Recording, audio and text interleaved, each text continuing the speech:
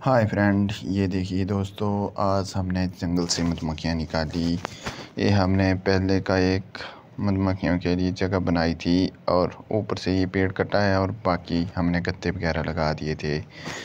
क्या हुआ, इसमें मधुमक्खियाँ आई, उसकी वीडियो हम बना नहीं पाए। पूरा हमने झुंड पकड़ दिया बाकी छत्ते छुत्ते वगैरह निकाल लिए शायद भी काफ़ी ज़बरदस्त था और थोड़ी सी मधुमक्खियाँ यहाँ पर रह गई है, पर क्वीन भी शायद यहाँ पर ही रह गई है। शाम को हमने ये काम किया था।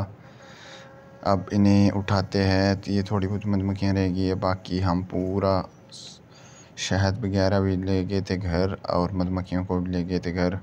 ये देखिए, यहाँ झुंड बनाकर बैठी है। एक दो जगह पर इन्होंने झुंड बनाए हैं। अब इन्हें अच्छी तरीके से पकड़ेंगे और पीपल में डालेंगे। इस तरह का ये पेड़ है। और हम काफ़ी हाइट पर चढ़ा हूँ। मैं इस, ये थोड़ी वीडियो बनाने में दिक्कत हो रही है फ्रेंड तो समझ आता हूँ। मुझे माफ़ करना, ये देखिए आप। चारों साइड ये झुंड बनाकर बैठी है देखिए।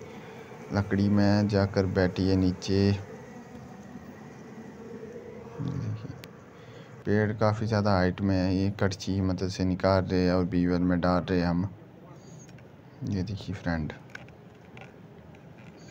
इसे आए हुए कम से कम एक दो हफ़्ते हुए थे और हमने ये निकाल दिया है देखिए आप।